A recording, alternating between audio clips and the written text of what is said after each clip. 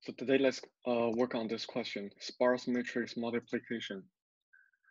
So, so basically sparse matrix means uh, give you a matrix and uh, most of the places are zero instead of an actual value. So if you look at this one, there are only like two value, two non-zero values and the rest of the spots are all filled with zero.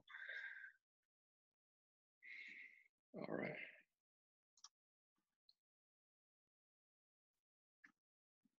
So, so when we are doing matrix multiplication, the naive way is by using a triple nested for loop. So if we're looking looking at this value, so we need to multiply these two and these two and these two and then add them together.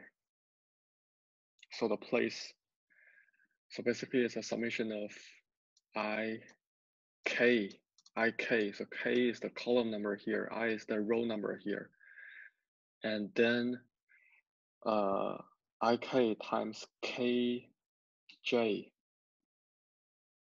So uh, ki actually, let's say, yeah, kj. So k is the row number in the matrix B and the J is the column number. So for place ij here, this one is zero, zero, one, then we are submitting, uh, so we're looking at the first row in the first matrix and the second column in the second matrix. So this is a naive way by uh, by doing matrix multiplication.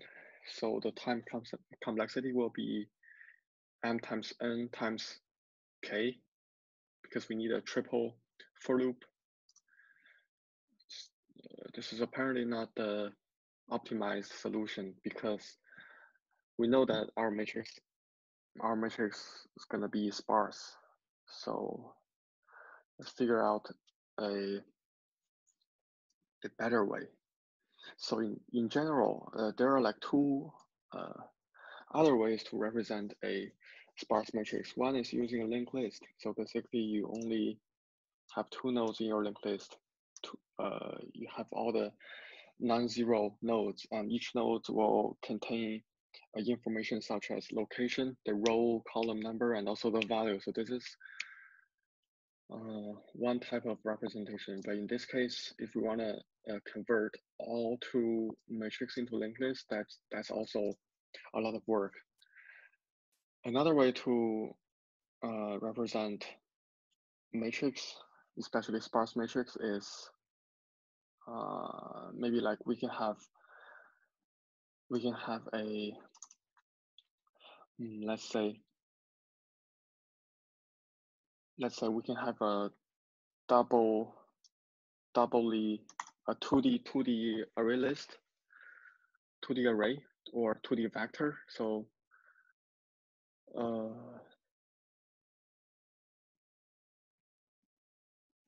so we can have something like this.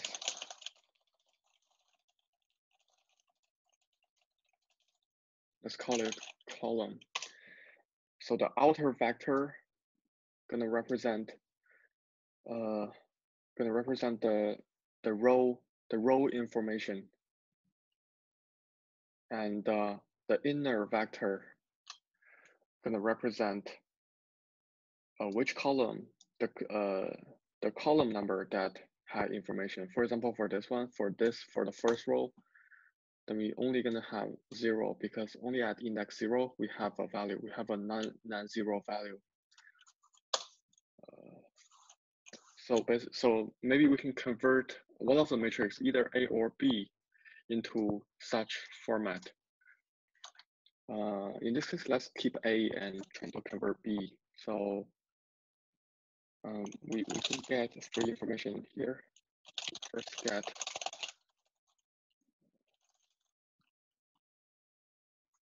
the row number of matrix A and then uh, let's say the column number. Let's use another let's use C. C is a column number matrix A. And then A for So we know that our result gonna be gonna have a size of m times n. For C, C, like right now is the column number for A. It also equal to the row number of B. So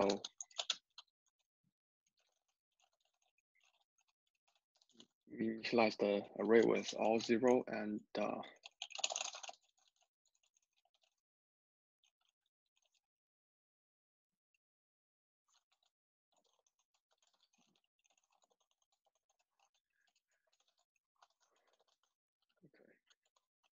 This is our result. And now we're gonna convert our second our, our second uh, matrix in this form.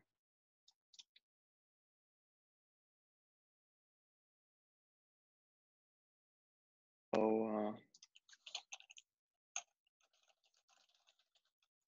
uh, uh, we can uh, first iterate through.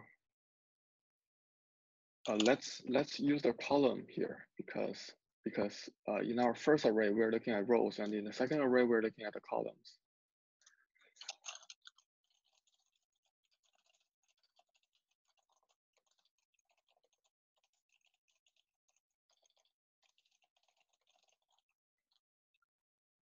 And then we're gonna iterate through the row.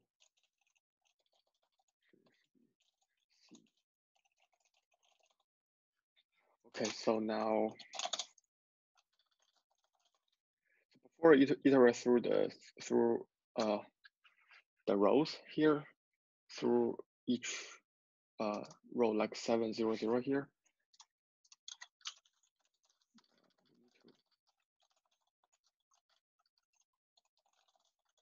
To add a add a vector here.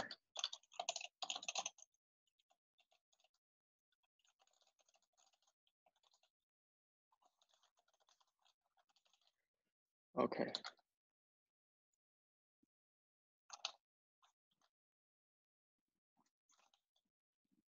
Here we do, we check if B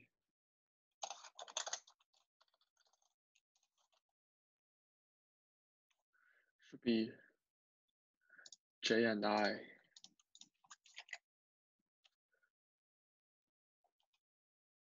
Oh, let, let me let me think. Row. Let's do this on the second one.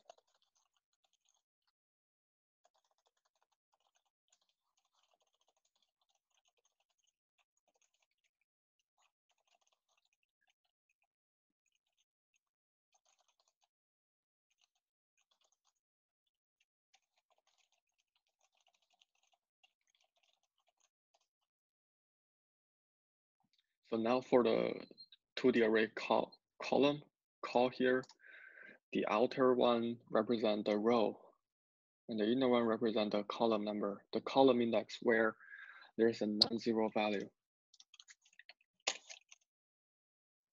So now we have the setup. We can do the multiplication now.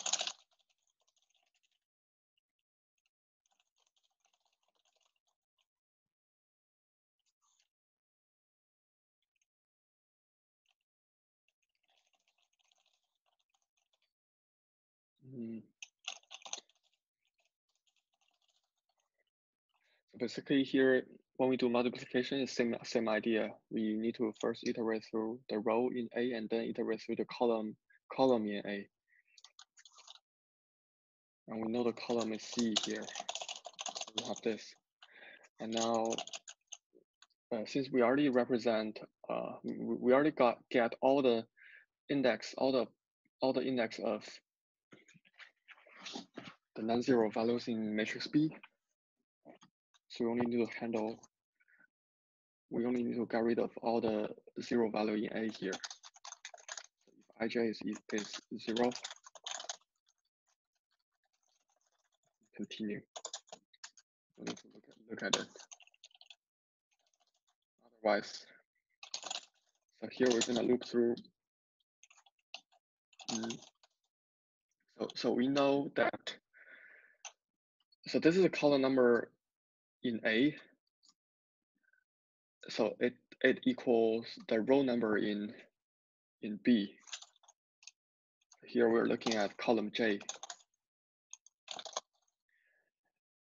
We know K right now means the column index where there's a non-zero value. We know our target location is IK actually. Uh, plus ij times bjk. And we accumulatively add the uh, new multiplier value to this place. And we return result.